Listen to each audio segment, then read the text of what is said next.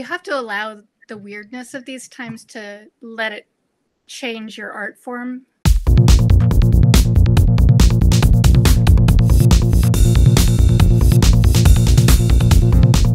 So I want to say a big thank you uh, to Sue Henderson for coming on TBD today. Um, I read your book a year ago, uh, Flicker of Old Dreams, and uh, Ms. Greenbaum had a terrific book club. Mm-hmm. It's a high powered, it's a high octane book club, and they they're they're very uh, very well read uh, group. And uh, I thought it was just fascinating your process, your creativity, and uh, really the beauty of your writing. So I want to thank you for being here with uh, with members of my English class and colleagues of mine. So thank you. Um, I wanted to ask you one of the biggest questions I've had about your work is setting. It's Mhm. about setting. And uh, before I begin talking or asking you a little bit about your relationship to setting, um, I want to show, I want to get the right uh, Facebook screen of some of your photos. Yes. Okay. Um, so tell me a little bit about your feeling about setting. Oh my gosh, look at how you can screen share. You're good at this. um, so um, for this book and my current book, I found my story via the setting. And um, just since we're talking to an English class, I I feel like the the most important thing to remember about writing before I talk about setting is um, if you think of a story as writing, then you only have one tool, which is words.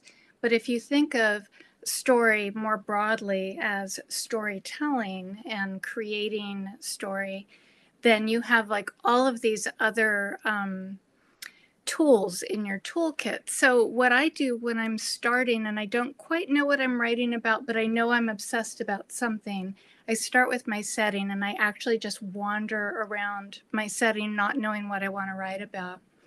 And so, in this particular setting, um, the thing that I wanted to write about that I felt just sort of loosely was that um, the country felt so divisive and full of rage, this idea of two Americas. Um, but I didn't really know what I wanted to say about it, except for that I didn't want to write about politics. So I started thinking, well, where might this story be? What is a place that I'm just kind of obsessed about? And so I thought about this town where my dad grew up. It's a town of 180 people in um, Winnett, Montana. Um, in the book, it's called Petroleum. And I went there for a month and I just started just kind of wandering around. I moved into um, the spooky little um, hunter's lodge that they had there. Um, I was the only person in this town that um, didn't live in the town. And when I say it's a town of 180 people, what I really mean is across a very wide um, array of land, there's 180 people, but in town, there's maybe like seven people. so I stuck out a lot. And I just wandered around. I felt it. I smelled it. I, um, anytime I ran into people, I talked to them. I asked questions.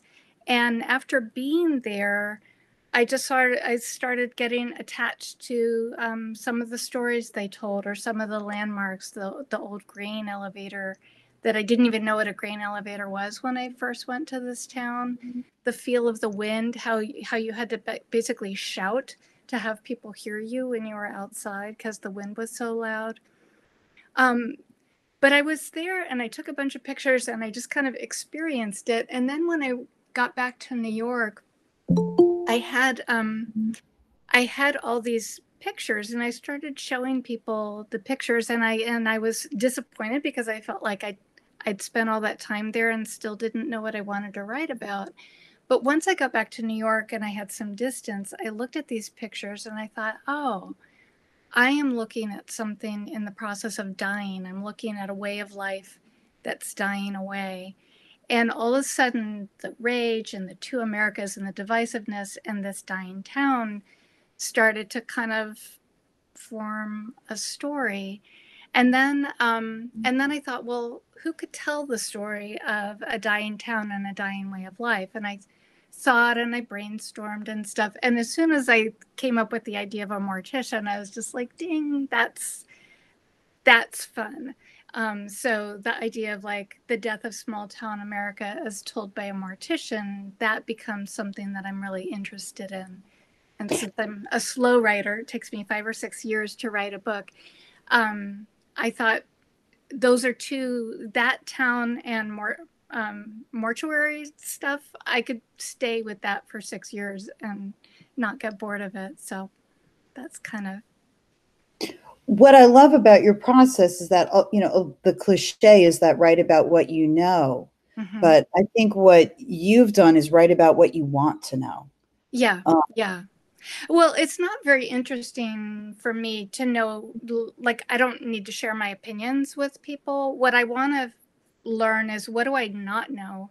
What do I not know about myself? What do I not know about the world? What do I think I know that I have a misunderstanding about? And um, I liked the fact that I walked around in that town.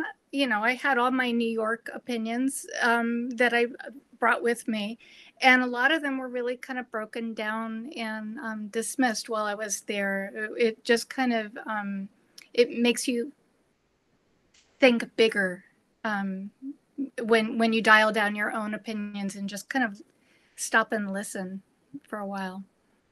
My father wanted me part of his notes. I'm, I'm notes from my father. Uh, he said he wanted you to know that he grew up uh, in tenements in Brooklyn. His whole family lived on one mm. small section of the street, and he said, but he related to the book because of the the small town gossip, you know, the the mm-hmm. the history, uh, the whispers, yeah, um, about the father and affairs and all the backstory that he felt that you had captured that, and he related to it, even though uh, he did not grow up in Montana. That's pretty cool that, that, someone from Brooklyn can can sort of connect to characters that live so far away. That's really neat. I appreciate that. And that's one of the things we we talk about in um, my course. We we start the year talking about how literature is both a window into someone else's experience, but a mirror reflecting oftentimes our own, even if the if the details of the narrative are different yeah. than our own experience. The emotions may be yeah. one that we can uh, reflect on. Uh, in terms of your characterization, then, are you pulling from uh, your own experiences or a variety of other people that you've kind of assembled into the story?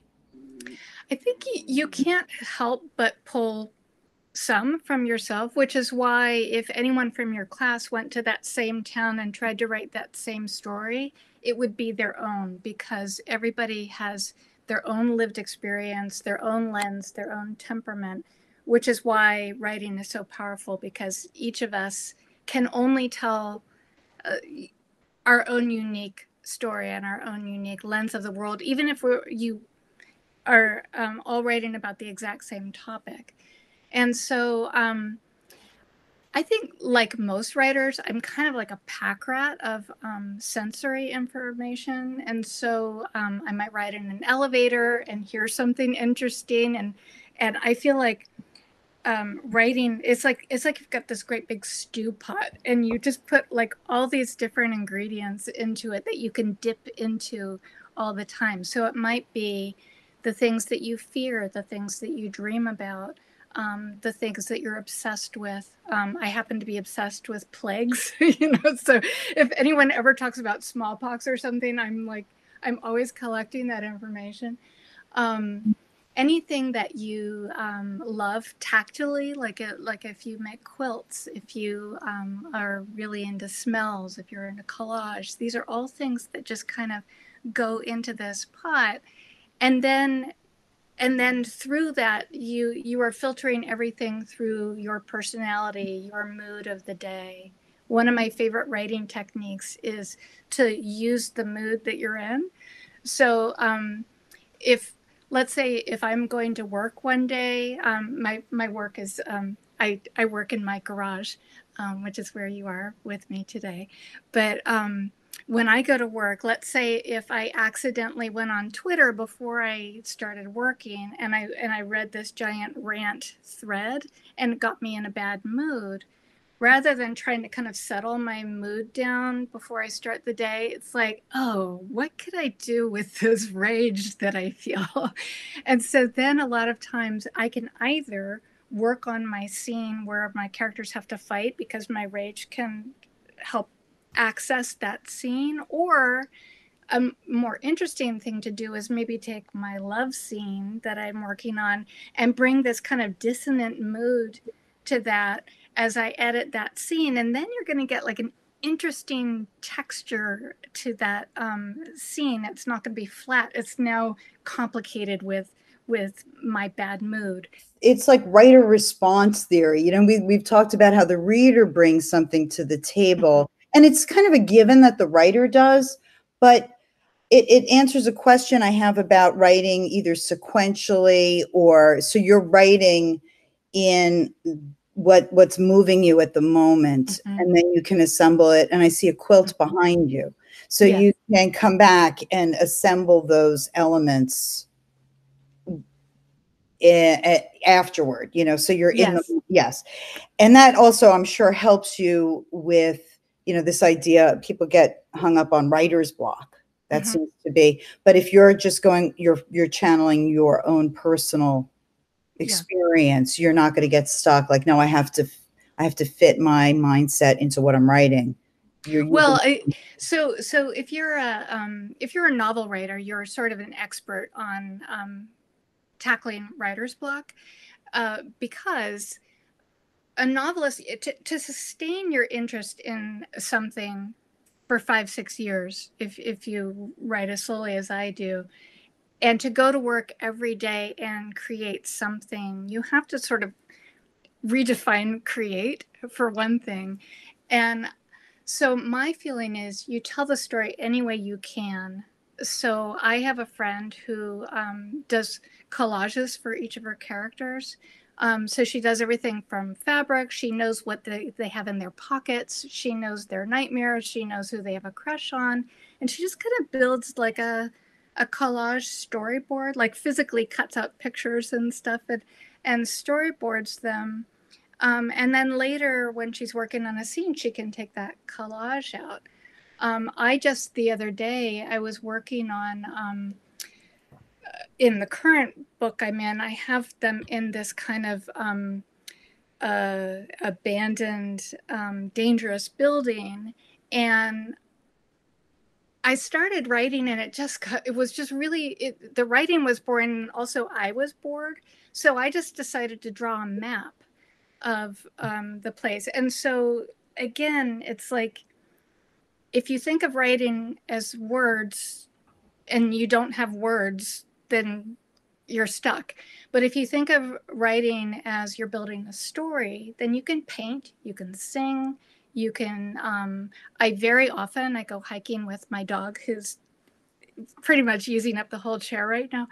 Um, i go hiking and i talk my story out um, which is also fantastic. Um, if, if you have dyslexia or something you can always tell a story easier than you can write it and then you just transcribe it later. Um, so there's so many ways to kind of enter the magic of a story world and I love, say, I want to read one line mm-hmm. that to me just has such a, it says so much in its imagery. This is about the relationship uh, between the father and the daughter in uh, The Flicker of Old Dreams. He popped me on the head to remind me not to litter, but in a nice way that made me show him my chocolate covered teeth. Mm-hmm. And I thought it's such a it's in that one sentence you have a whole relationship mm-hmm. uh, and you also this detail of her smiling with the chocolate covered teeth i thought was that's the kind of nuance that shows you're observing the world around you mm-hmm. you know you see these oh that's a detail or you know i, I can envision that moment yeah that yeah. you've provided um, but now it's so so you have this you have this one book set in this dying small town Mhm. and now i want to take us to the other setting Okay. i almost feel like we should have a drum roll Park now. You're not you're you're not originally from Kings Park. Did you know of the Kings Park Psychiatric Hospital? Let me make sure I'm sharing the right we one. bought a house at Kings Park before we knew of it. it was just like this awesome surprise that was down the street from us. so you do you walk uh, this this abandoned property?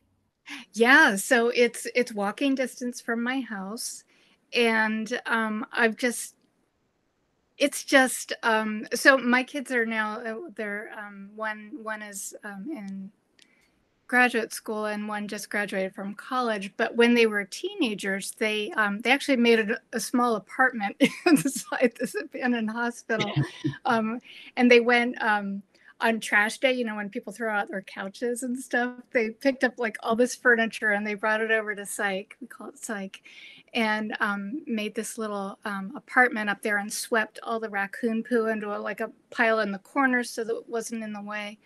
And um, so it's just been just a part of kind of the lore of living in Kings Park. So um, at some point, I was just like, I am obsessed with this place, so I'm gonna, you know, I'm I'm gonna write something at this place. So I did the same thing, not knowing what I wanted to write about and knowing that the history of something that's been there 150 years, that's that's too large a time span for the kind of writing I do. Um, I'm not like a historical writer. So I just started walking around this place just with an open mind about what the story might be and and paying attention to what I was obsessed about. Okay, as you can see, I've started going in the building at some Mhm. point. Um and so as I was walking around in this place and then I would meet everybody inside, um, I met there's homeless people, there's former staff, there's graffiti artists, there's uh, drug addicts, there's um, uh, a night watchman who who had um, uh, social anxiety issues and was afraid to get out of his car. And there were so many interesting people I met, and I and I slowly started getting closer to what the uh, you see my kids in there too. Um, slowly getting closer to what the story would be. So I, I started um, meeting a lot of people who used to work there or be patients there, and I would just talk to them. And as I was talking to them, um, a few people just very casually gave me this information that I was just like, what? And the information was that um, there were babies that were born to patients there. So I started asking the people that worked there or that um, were patients there, could you could you tell me more about this? Did you ever hear about this? So um, of the babies that were born at Psych, if they weren't adopted out, they just raised them there along with the patients. And so that's that's when I was like, okay, now I've got now I know where I'm going with my story, but what I still didn't know is where did I want to um, take a like a slice of the history there, and I realized that um, what I was most interested in as I talked to people was the closing of the hospital because I loved the the idea of deinstitutionalization, and then there was the reality of what it was. It was different than what people hoped it would be when they when they closed all these hospitals. Um, and i was very interested in the vibrant hospital and and then this place where my kids had this apartment. Um, and so now i'm just kind of staying in that little time space um, and i've got all these photos. Occasionally i go back in but i i broke my hand in march and that made it really it made it harder to get in and out of the um, the windows there. Um, My goodness. yeah, Uh, but And- but when the pandemic hit, all of us who break into this place were like, "Great, we've already got so many masks." You know, you were all set. What Yeah. year? Did, what year did the hospital close again? Uh, 1996, so pretty Hmm. recently. Yeah. And what I find interesting about that is it's both the end of something, but you're Mhm. talking about these babies who were born there, that Yeah. their lives began there. Yep, yep.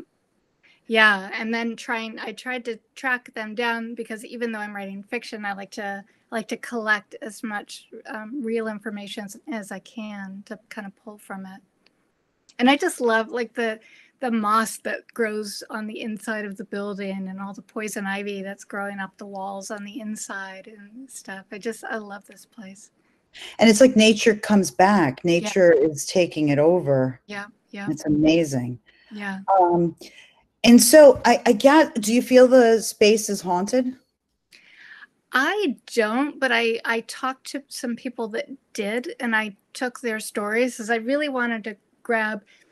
uh, What every writer wants is to stand in the moral gray area of the story. So if there's anything that where um, people have conflicting points of view, um, you have the um, the people that were very proud of the work that they did there, and then you have the people that are really mostly interested in ghosts and lobotomies, and and those the the friction between those two groups is very interesting to me.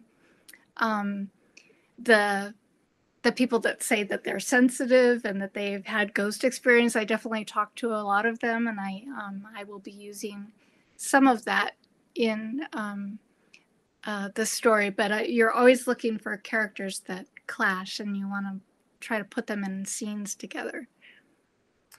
So it's so it's you're trying to give a voice to all the different Mhm. Constituencies, I guess you could say. Yeah, yeah, The the ghost hunters and the historians and then the people who were professionals there. hmm You know, it's it's a and it's a huge uh, place at its height. Do you know how many people were institutionalized there? ten thousand at the height. Well, that's Yeah. certainly bigger than Patrol in Montana. Yeah, yeah. No, and and and this whole town was founded on that. So when the hospital closed, it really changed the nature of this town and the jobs in this town. So it's it's pretty interesting ground. You took quite a number of photos. Yeah, yeah. I'm kind of a research nut. Um, I just find um, if you walk around in the setting that you want to write in, you just um, you'll find things there that you didn't know were there. And I think what what became most interesting to me as I was walking around is everyone has opinions about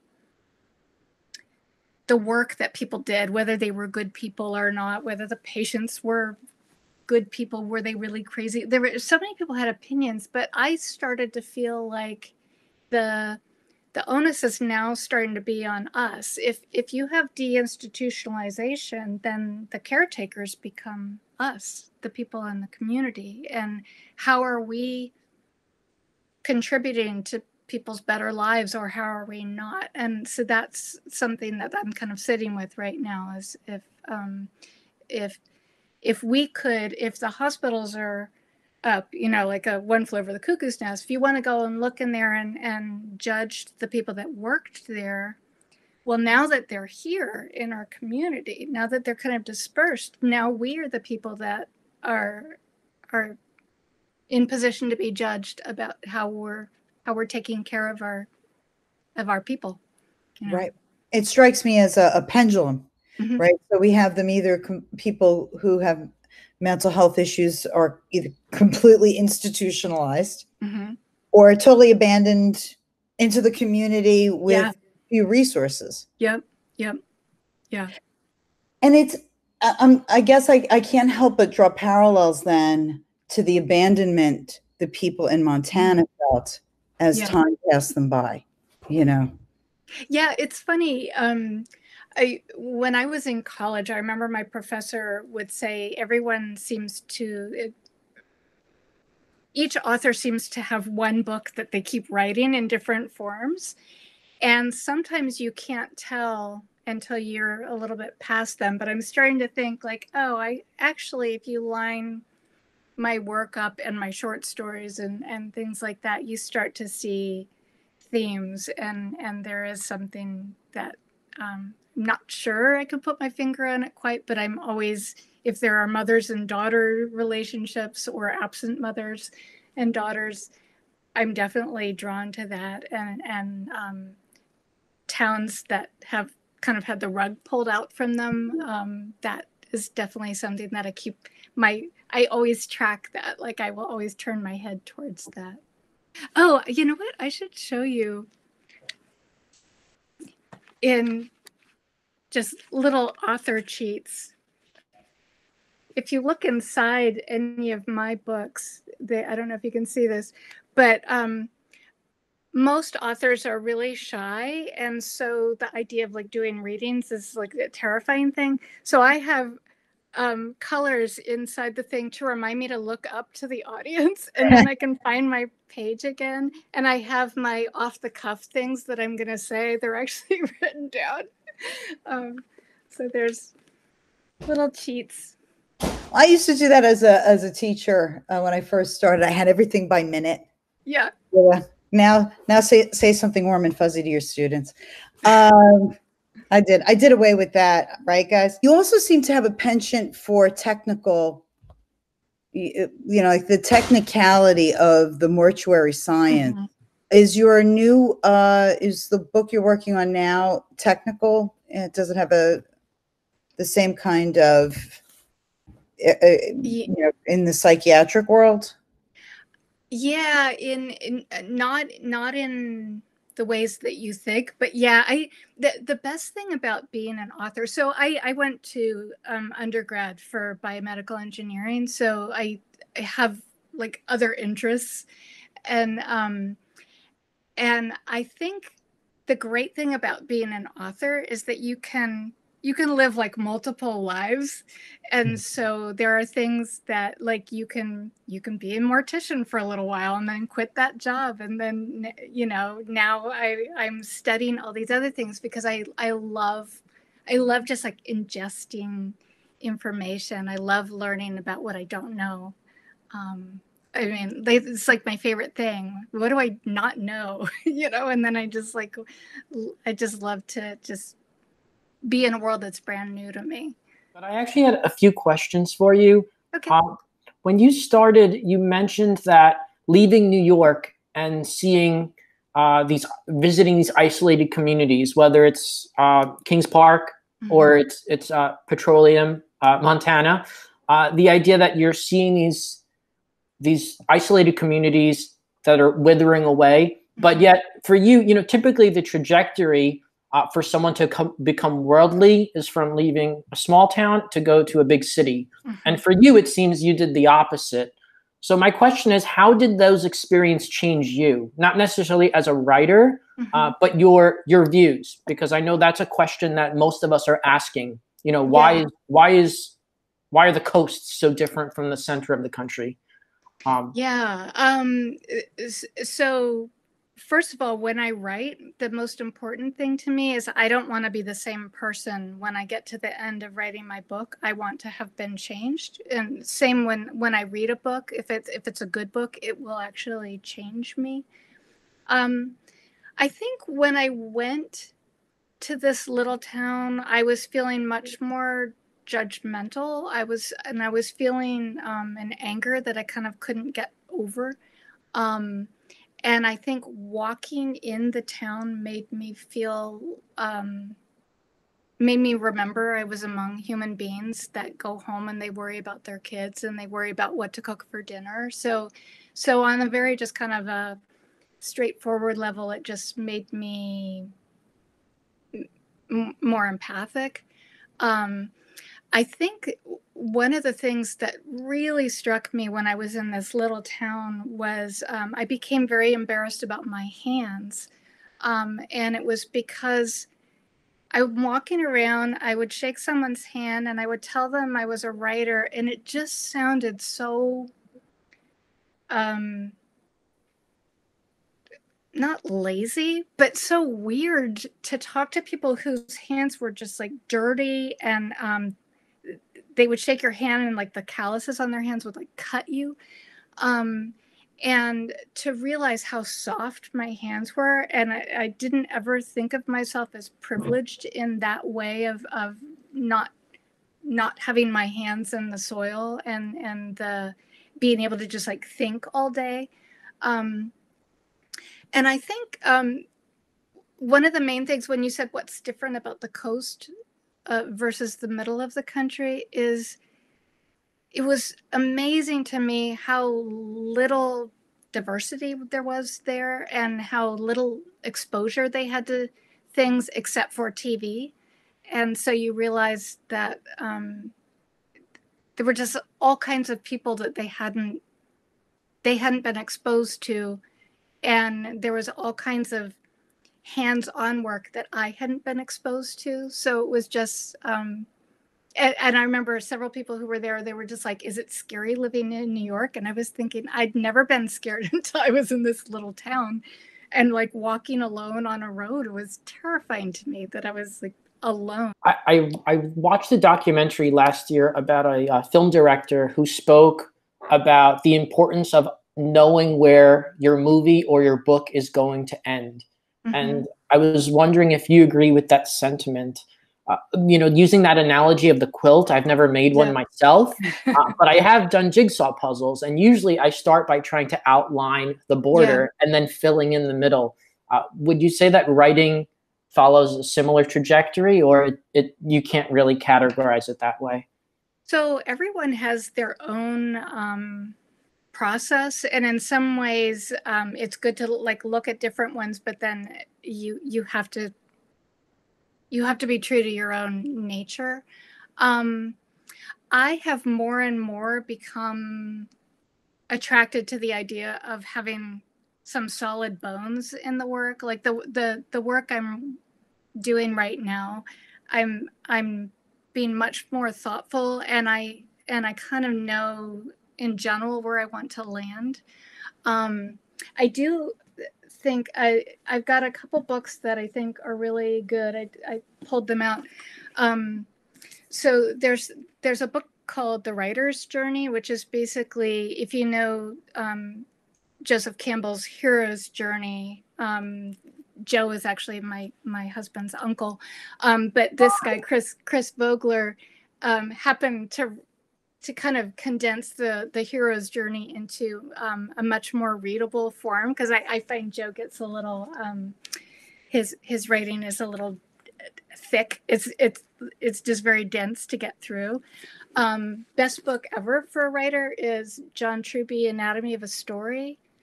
Um, but this is a it, it is the best book um, you could ever have as a writer, but it's very very very hard and it can be intimidating and it's not easy to be in the middle of the process and pick up this book because you'll feel destroyed. Um, it's not a good confidence lifter.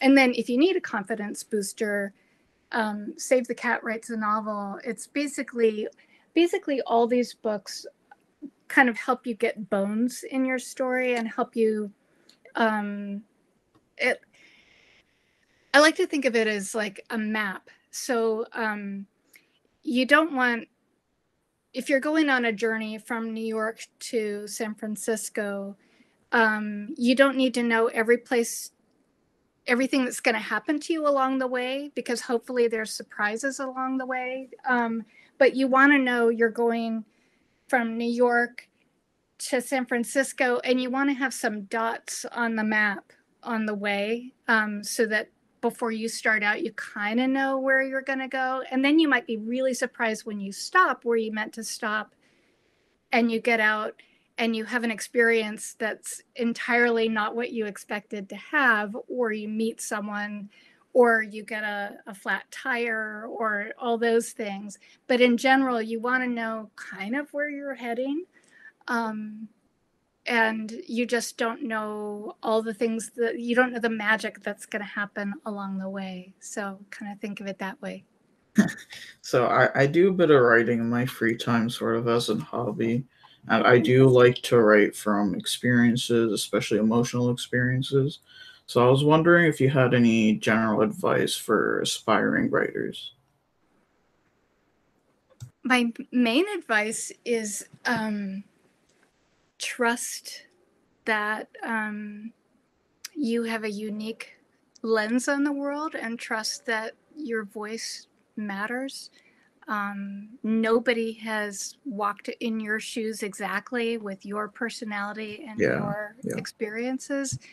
And so the main thing is just trust that um, you have you have a story to tell. As a student, uh, now you studied science, but were you always writing?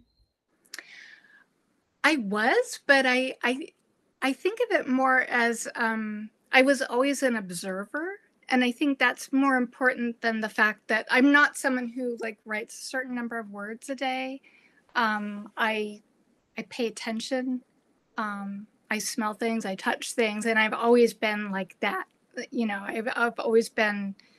You know, there would be a a school play in third grade and I would notice what someone's doing under the seat. I would notice if there's gum stuck to the seat. I was just that person that was just kind of, if there was someone who was cutting the back of a chair during the play, um, I think writers are, are those people. They're those observers.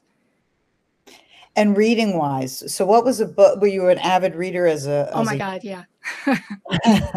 Yeah. I was I had two things that I was known for when I was really little. One, I was a pyromaniac, so I I lived in the principal's office for a lot of elementary school because I I set so many That's things on fire. That's amazing. yeah, and even it, when I was in Why did you give it up?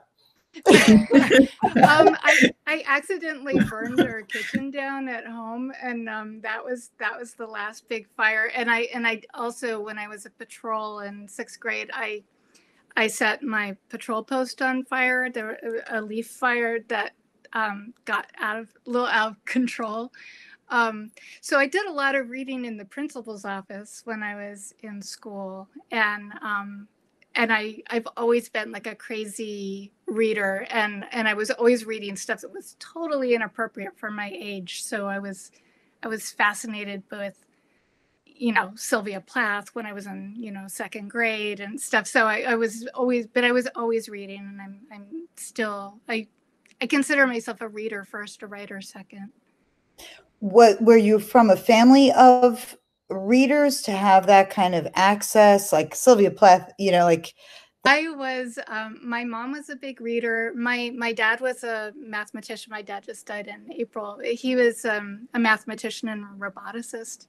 Um, so I came more from like the science stuff, and then I was I was the weird kid, you know, writing in a family that you know thought they could produce you know some scientists and engineers. Oh, if you don't mind me asking, okay, so like my Oh, yeah. family is sort of similar in that like my parents and like my older sister and stuff, they they've really delved into like a more concrete subjects, so sciences and mathematics and stuff like that. Uh, whereas writing, uh, I feel is much more subjective. Have you ever found that a conflict with your interests in the sciences uh, at any time? Yeah, um, because as soon as you're a writer, you're you're never on solid ground, and you're reaching for things that um, can kind of fall apart in your hands. You know, the the the truth is so malleable, and it was hard being in a family where you know everybody's uh, comes from the other brain and and has Yeah, you yeah. know the, this different uh, style but but that's going to make you a very interesting writer because you're gonna you're gonna be able to kind of have your foot in both worlds and you're Yeah. gonna be able to write about those people in a much bigger way um, a lot of times those math people don't have any awareness about how they are in the world and um, so when you write about them it gets very very interesting because they don't they don't see themselves very often So as a writer, I, I find that some writers may be protective of their work, and when it when it when it's released, it's no longer yours in a sense. Yeah. How do you feel about uh, film adaptations? If if there ever were a film adaptation of any of your books, would you want to have an active role in those, or would you really prefer a hands off approach? Well, that actually came up with um, with the Flicker of Old Dreams. I was approached by um, the person who produced a, a movie called um, Winter's Bone, um, which had um, Jennifer Lawrence. Jennifer Lawrence. Jennifer yeah. Lawrence. Um, that didn't end up panning out, but she had asked me um, if I wanted to be um, a part of it, uh, writing it and stuff. And my feeling is that's a different art form, and some people are good at both art forms, but I didn't feel like I was. So I, I sort of feel like, um, like you said, it's not yours. Once once you publish it, readers make of it what they want to, and and if um, if someone in the movie world looks at it and creates something entirely different um, you know like what would jordan peele do with this book? It would be something that i couldn't even imagine. And so i think the exciting thing is to kind of let it go. Um, but i do have a friend she just got her book optioned by plan b which is brad pitt's movie company and she's and she's helping with the actual screenwriting. So you can do it you can do it both ways Eileen, did you have any questions you wanted to ask?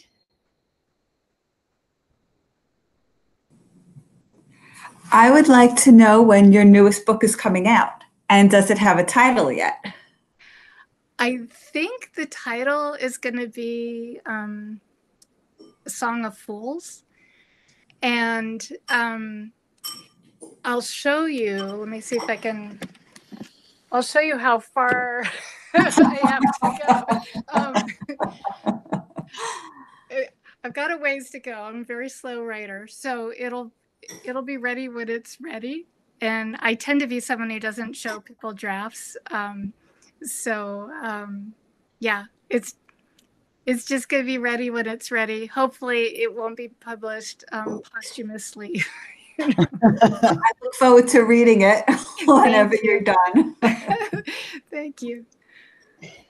Well, I just want to say thank you so much for visiting with us and taking us into your world, your setting, uh, all of it. Uh, it, it. We really appreciate it, um, and I I think you've inspired some writers, right, Robbie?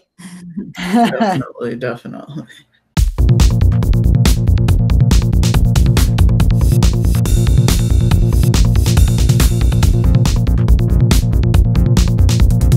Wasn't that great? That was great.